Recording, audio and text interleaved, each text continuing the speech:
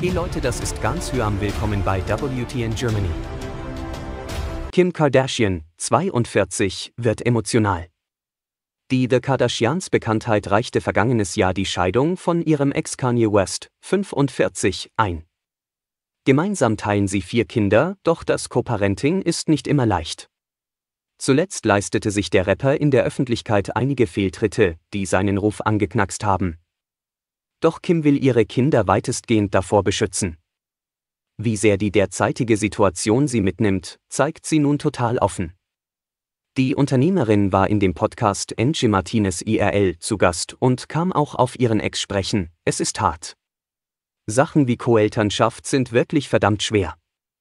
Kim wolle immer nur das Beste für ihre Kinder, ich hatte den Besten. Hey guys, this is Gansham. Welcome to WTN Germany. If you want to more update regarding European and Germany news, then subscribe our channel and press the bell icon and like our video and share with your friend and family. Thank you very much for watching our video. Thank you.